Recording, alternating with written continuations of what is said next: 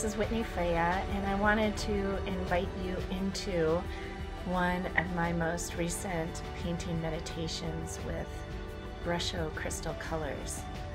I was gathered with two friends, and we were just wanting to paint to connect and have fun and bring ourselves present. And so you can see in this time lapse the evolution uh, for me of two different backgrounds. You can see me at the top of the page there. And what I found as I painted and later meditated into the painting was that there were so many life truths represented, and this is one of them. If you look at this detail of one of the paintings, the purple figure on the bottom to me looks like a woman about to dive into a lake, a pool of water, the ocean, swimming pool. She is preparing to make the leap. Her arms are back. She is leaning forward. She is fully committed to where it is she is about to go.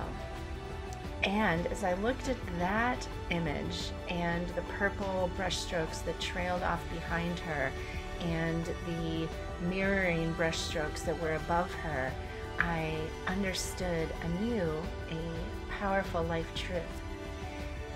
The energy, whatever you call it, the divine, Jesus, the universe, the universe wants to help you go experience whatever's in your heart.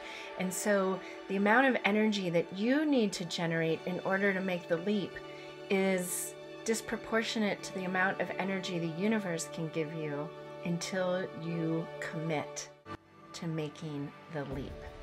And as you make the leap, you can see how in front of her, that golden spiral vortex gets bigger and bigger and bigger the further out from her starting point she is. So often we make the decision not to cross the threshold, not to make the leap, because we perceive that we are not being supported when the universe is just making making sure or waiting until you are at a point of no matter what. So, summon up the courage, look ahead, understand that when you leap, the net will appear.